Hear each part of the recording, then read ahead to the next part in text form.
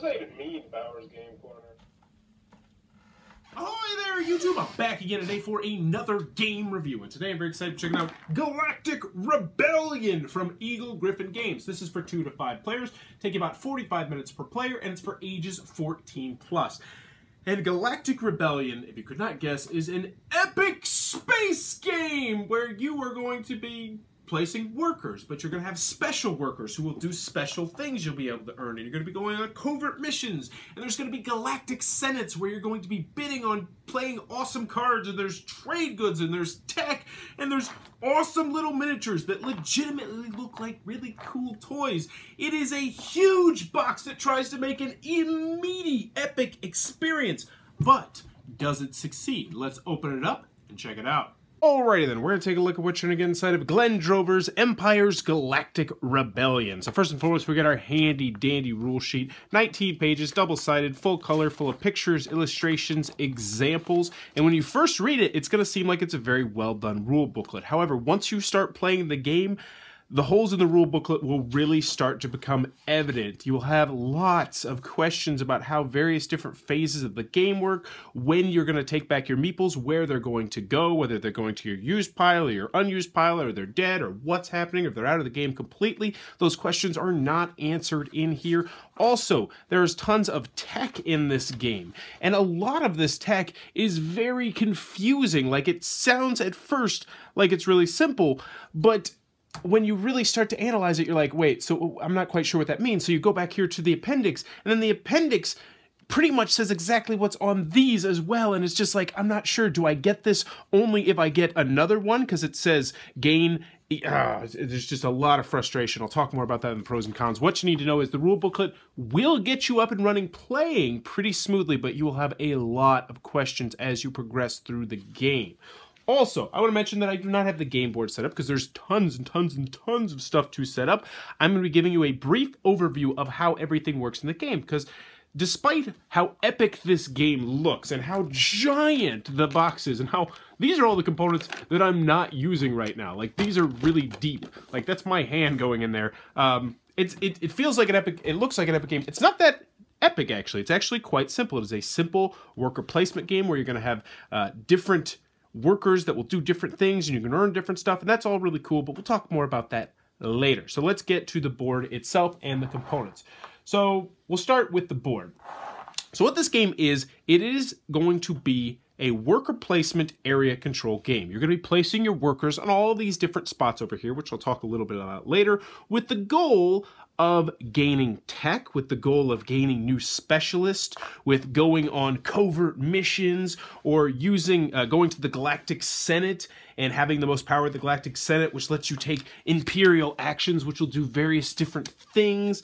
And then, of course, area control, getting your dudes onto various different planets so that you can have control of those, get trade routes, which will gain you more money and victory points at the end of the game, or get you more valuable science cubes, which will help develop your combat, because the game does have a pretty interesting way of doing combat, which we'll talk about a little bit later. So that is the board in a nutshell. We'll talk more about the specifics a little bit later. Next, you're going to have credits. They're in increments of 1 and 5. They're perfectly serviceable, and they're pretty nice.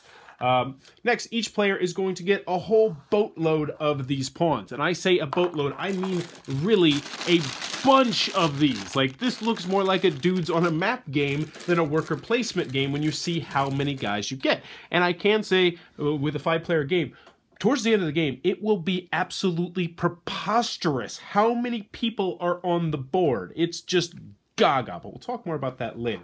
So let's take a look at the various different characters because these meeples are not just all the same. So yes, most of you are going to have rebels or workers or just they call it a couple different things in the rule booklet, which is really frustrating. Another one of those quirks with the rule booklet, but this is what it's going to look like. It's a pretty nice skull. They're they're very well done, and it's just going to be a guy with a gun. This most of the time are going to be the people that you're going to be playing to do various different things. So each person is going to have one of these but with different colors. However, what you're going to be able to do is go and upgrade your workers, and I'll talk about that spot later. So you could have the Trooper, who's going to be better at defending planets.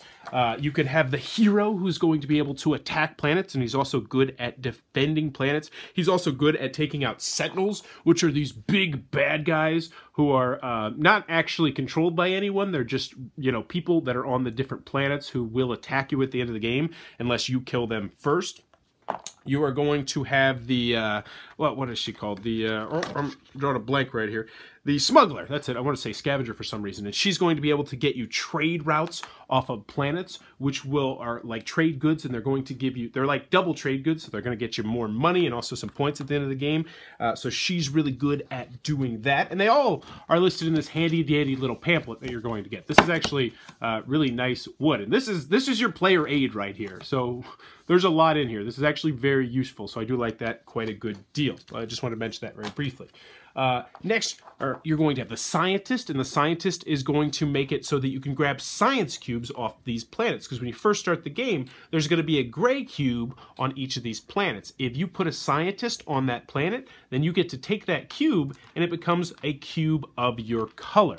These cubes are going to be used in the combat, which will happen um, generally pretty frequently towards the middle of the game and at the end of the game it happens a whole bunch but scientists are really good for doing that. Also they're going to allow you to get the the tech which we'll talk a little bit about later. Last but not least we have these dudes who are very useful when you are either going to planets, because when you go to the planet, they will give you an extra one of these little grunt guys, or when you put them down here in the Galactic Senate. I think they're senators, I think they're what they're called, and they're going to count for two people down here instead of just one people. So those are the five different special troops that you're going to have in the game that you'll be able to earn, in addition to, of course, your regular grunt worker guy. Now, let's get these out of the way. These guys are going to be spread around the boards, around the planets randomly, and these guys are big baddies. They will affect covert missions. I'll talk more about that later. They're very difficult to kill because I talked about how you're going to have these cubes right here. They start off with, I think, five or six, and at the end of the game, they have eight, which means they're going to be mowing you down, but we'll talk about how the end of the game works a little bit later. Also, you get just an insane number of these. I am not quite sure why you get so many of these, and there's even more in the box as well. Like, uh, like there's tons and tons and tons of these for some reason. I guess if you make up your own scenarios or something like that, not quite sure, but there are a lot of these in the game. Now, there also are going to be these little black ships right here these cool little black ships right here. If this is on a planet, that means that you cannot go to that planet unless a card specifically says that you can. So essentially, they are going to block a planet off from having more people enter it, which is good if you already have control of that planet. Because at the end of the game, and at the end of each epoch, and there's going to be two epochs where you will score throughout the game, epoch 1 and epoch 2, and the game goes over 8 rounds, you're going to gain points for the majority of people on a planet. So for instance, whoever's in first on whichever planet has this, and each planet will have one of these, is going to get 6 points. Whoever's in second will get 2 points. Let's get all that stuff off the board, and let's start talking about the different spaces on the board. So first, oh no, I knocked off the trade goods. First up top, it's a really big board if you couldn't tell, that's my whole arm right there, is turn order, pretty self-explanatory. Uh, this is one of those games where you're not going to go around the table. It will be, oh, you can't even see it. It's dictated by turn order, which is up there. Now, underneath that is initiative. Initiative is pretty interesting because you're going to gain coins at the end of each round depending on where you place your initiative. So if you place your initiative right here, you're going to get four coins and you will go fourth next turn. The catch is you have to start on the left and work your way all to the all the way to the right. I'm not sure why they did that, but hey, they did. You only get the coins if you put a worker there. Next, you have the planetary influence spot. And how you're going to do this is on your on your turn, you're just going to plop, plop a guy right there. And then when you get to the planetary influence, you'll pick him up and you will put him on one of the planets. If you put one of the special troops on a planet, they might gain you valuable cubes, or they might get you those double trade routes, which will be very useful. Or they might, uh, if you put one of the um, the senators on there, they might give you an extra troop on a planet, which means you're going to be more likely to control it. Uh, heroes and troopers also can be put on planets, and they're good for defending planets, because normally when you get attacked on a planet, you lose two of your people. However, you have a trooper or a hero, you only lose them, which is good. The next spot is going to be the trade goods. And I forgot to mention this about the smuggler, but the smuggler gets really good stuff right here. Uh, and it says smuggler times two. If you put a smuggler on here, they're going to get two of these trade goods, which means if someone's in the fourth spot, they get screwed over. But granted, if they go in the fourth spot when a smuggler's there, they're just not paying attention and it's their fault.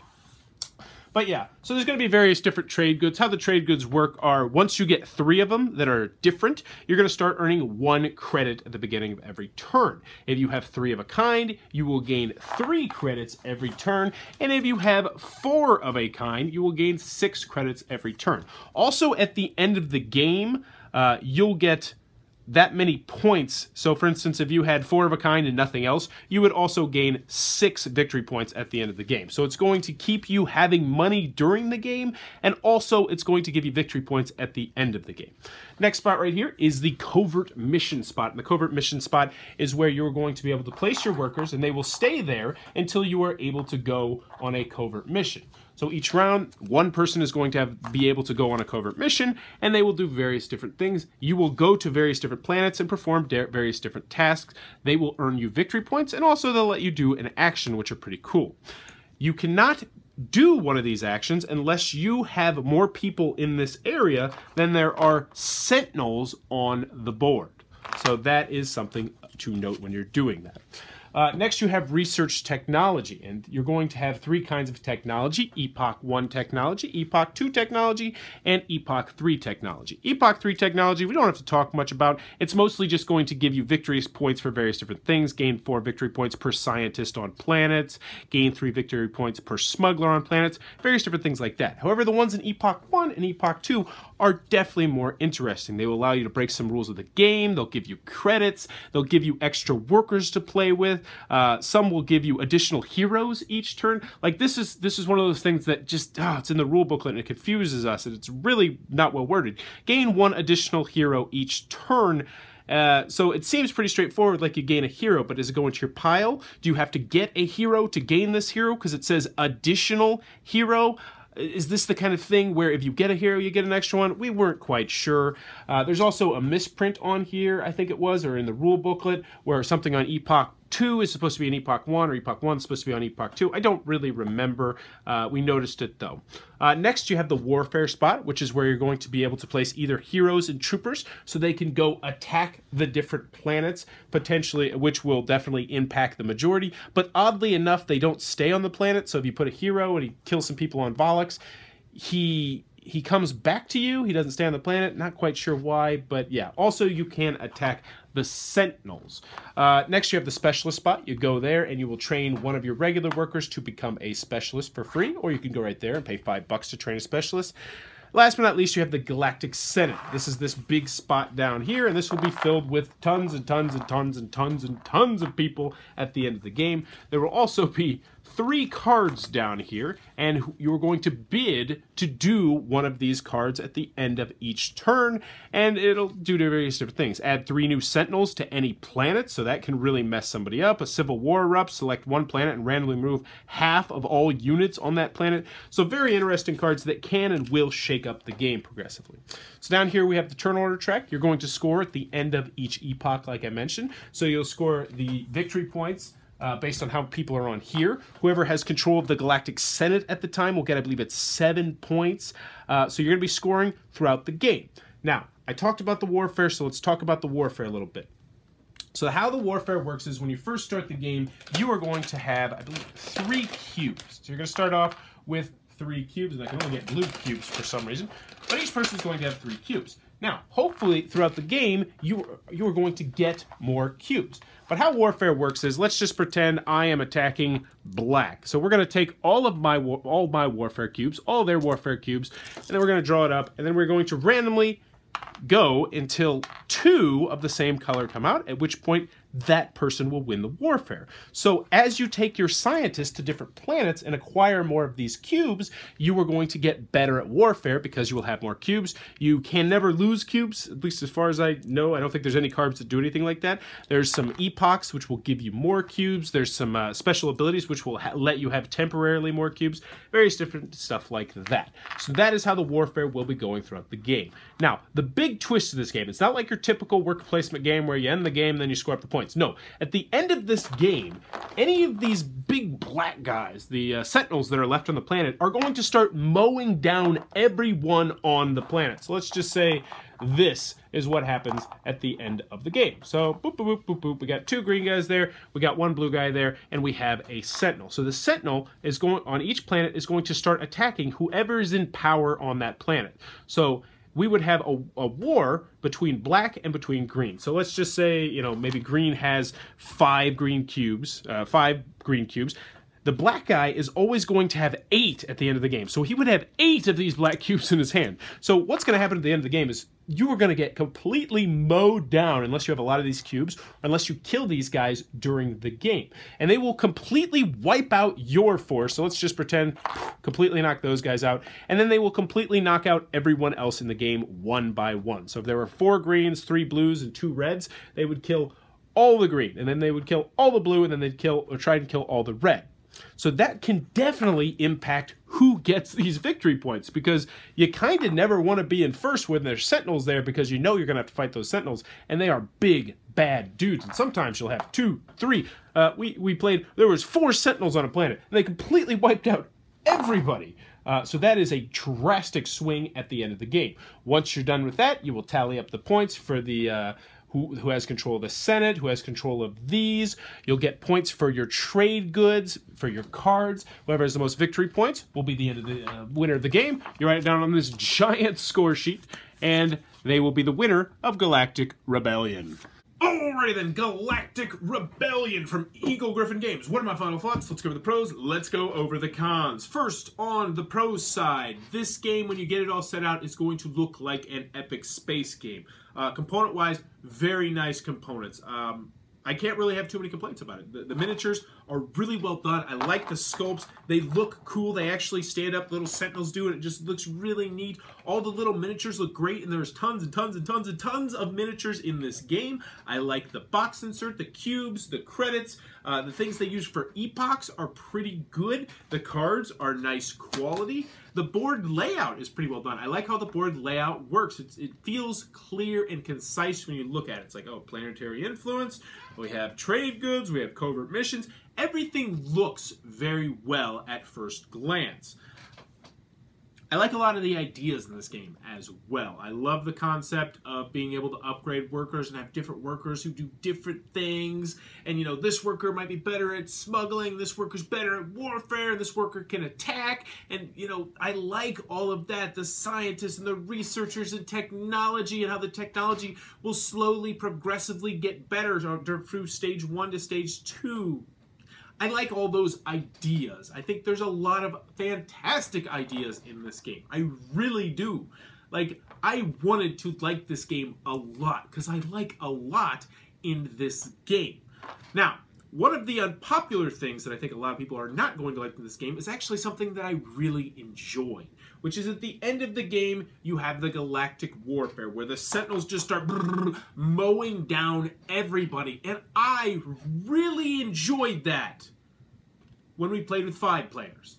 I thought it was really cool and really interesting how it just flipped the game on its head. And it was just like, oh my gosh, I just need to get that second cube. And it creates really tense moments where it's like, oh, this is my last guy on the planet. There's only one more sentinel and I just need one cube.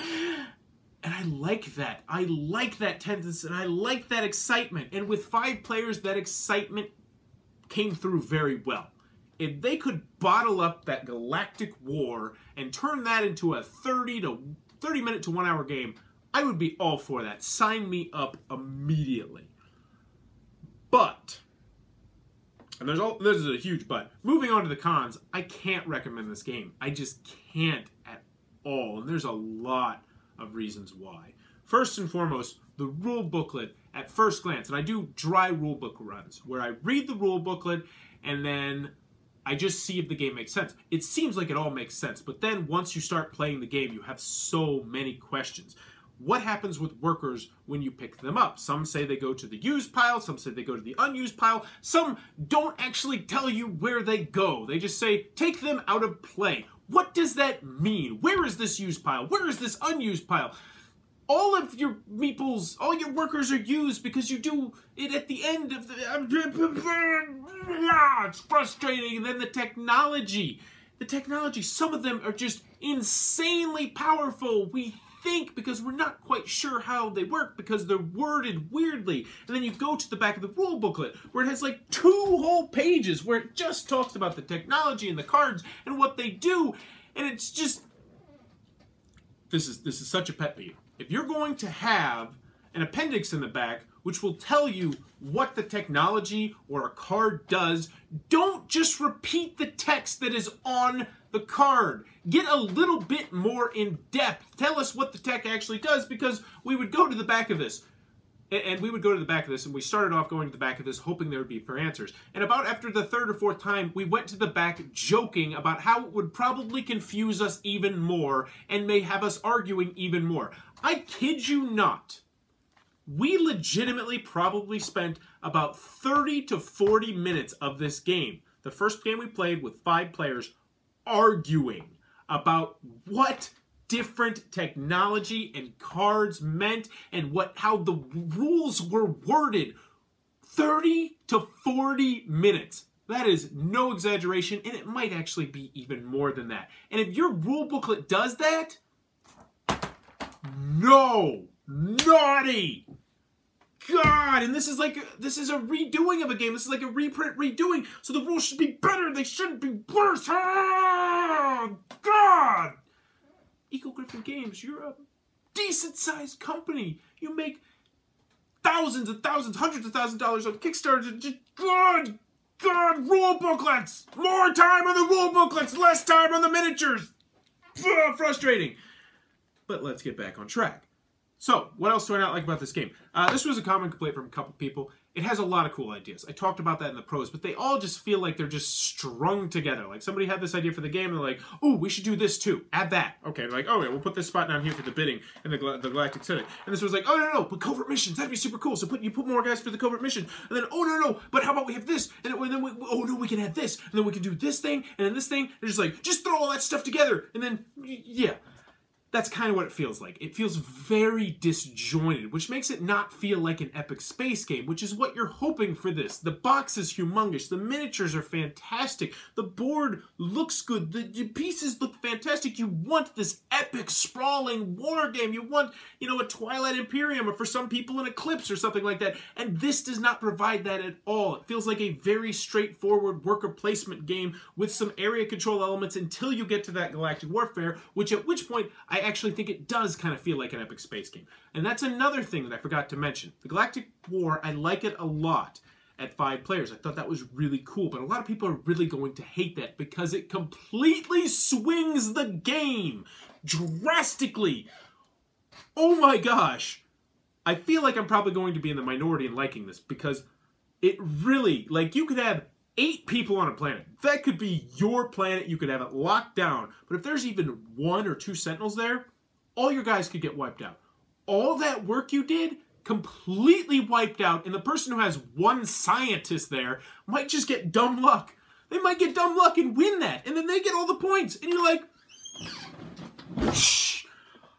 And, and then there's other things too. Um, the warfare spot. The warfare spot, it just doesn't feel that good you know, it, it's useful at certain points, and especially once you're getting close to epochs, but for the most part, the warfare spot just feels kind of weird. Uh, I feel like the technology can be too powerful, and that's another thing. The trade goods, I don't like how the trade goods work in the game, because the more trade goods you have, the more money you get, which means the more technology you can buy, which means the more power you have, but you don't trade in trade goods, you just keep them, which means you can acquire more trade goods, which means you can get more technology, which means you can get more powerful, which means you can get more money, which means you can get more trade goods, which means you can get more tech, and I think you see that. Now, that wouldn't be such a big deal if these trade, or these tech, you know, helps you win the game. But they didn't give you victory points. These, at the end, do give you victory points, though. And you're going to have so much money that purchasing them will not be a problem. You can go, say, two, three spots there and just purchase all of them because you're going to have so much money because you have so many trade goods. It's just, it's a huge snowball with the trade good and the tech, especially if you get some of the good tech, because there's some tech in here. Where we looked at that, we're like, oh my god, are you kidding me? you get five extra credits a turn, and it's like, wow, that's a lot. That's a lot of money, and it's just, and then there's there's this. Oh man, there's just so much here. There's also the specialist, and I love the specialist. But here's the thing: once you put a specialist on a planet, you get the special ability, and then you can't take off the specialist. So you. If you use your specialist, most of the time you're going to lose your specialist unless you go to different spots. So, like, you can keep going to the technology with a scientist but once you put that scientist on a planet, you can't use it anymore. So I don't know. I just didn't like how that when you put things on planets, you completely lose them. You can't pull them off. You can't say, "Hey, can you come back to me?" And then, oh, that's that's the last thing I'm gonna hit on. That's the last thing I'm gonna hit on because I could continue to go on because there's just a lot of little things that add up into a giant mess with this game. Um, but the last thing that I want to mention is that towards the end of the game, there will be an absurd amount of workers on the board. Just absolutely preposterous, especially in the Galactic Senate. I kid you not, the Galactic Senate probably had 50 to 70 workers on it at the end of the game. It was just, oh, I don't have anything else to do. All these guys go to the Galactic Senate, and it's just, uh, I wanted to like it. I really did. I love epic games. I love space games. 45 minutes per player. That gets me going. That's going to turn off a lot of people. And I even mentioned that in the cons because there's so many other cons. Obviously, uh, yeah, 45 minutes for players. It's a very meaty, long game, but it's just, it's not a good game. I can't recommend it. I can't recommend it to anyone. Two players, five players, somewhere in the middle, doesn't matter. I cannot recommend Galactic Rebellion. It's just, ah, good ideas that did not come together very well at all. So that is Galactic Rebellion from Eagle Gryphon Games one that I would steer clear from. If you enjoyed this video, please be sure to click on that subscribe button down below or in the comments below. Let me know. What do you think about the concept of the galactic warfare? You've worked the entire game to get all your meeples, all your, well, all your people in place on the board, and then there's this really epic battle and it's thematic, but it completely changes the game drastically. Do you think that's a cool idea or do you think that's a bad idea? Because I think I am in the minority. But let me know what you think about it in the comments below. And as always, thanks for your time, YouTube.